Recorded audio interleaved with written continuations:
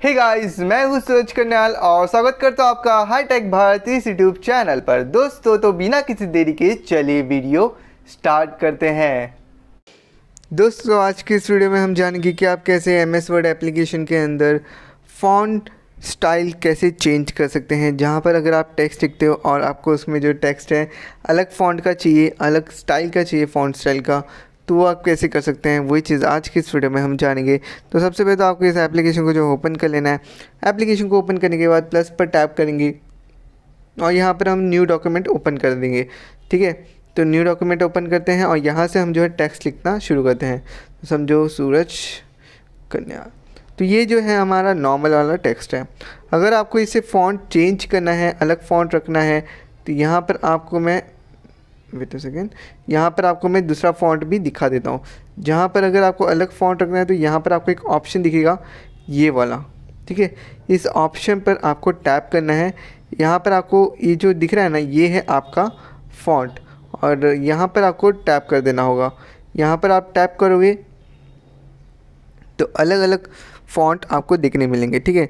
जो कि आप डाउनलोड करके ले सकते हैं। अब इसको अप्लाई करने कैसे करना है अपने टैक्स पर मैं आपको बताता हूँ। तो यहाँ पर आपको जो है जो फ़ॉन्ट चाहिए समझो मुझे आम, ये वाला फ़ॉन्ट चाहिए तो इसके ऊपर मैं क्या करूँगा? टैप करूँगा।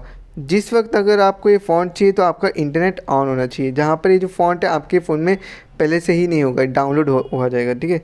अभी जैसे कि आप देख सकते हैं मेरा फ़ॉन्ट जो है अब चेंज हो चुका है। अगर मैं और एक फ़ॉन्ट रखना चाहूँ नीचे तो मैं यहाँ पर आप देख सकते हैं यहाँ पर मैं एंटर करता हूँ इसे। और यहाँ पर मैं वहीं पर क्लिक करता हूँ और वहीं पर क्लिक करेंगे। मैं फ़ॉन्ट जो है चेंज करता हूँ और इसे कुछ इस तरीके से करता हूँ। ठीक है? सूरज कन्या।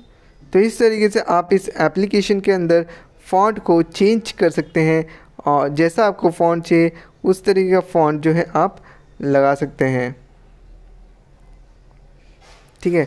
तो दोस्तों, यहाँ पर आप देख सकते हैं और भी फ़ॉन्ट आपको देखने मिलते हैं, अलग अलग अलग अलग। जितना डाउन जाओगे, उतना आपको फ़ॉन्ट अलग अलग चेंज होते जाएगा।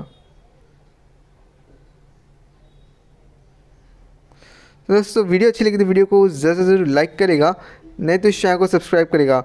जहाँ पर समझिए, आपने जो है फ़ॉन्ट लिख दिया नॉर्मल फ़ॉन्ट में, यहाँ पर हमारा नॉर्मल फ़ॉन्ट ऐसा होता है ना, हमने इसमें नॉर्मल फ़ॉन्ट पे लिख दिया, इसको अब हमें इसको मिटाना नहीं है, हमें वापस लिखना नहीं है, इसके ऊपर ही फ़ॉन्ट अप्लाई करना है।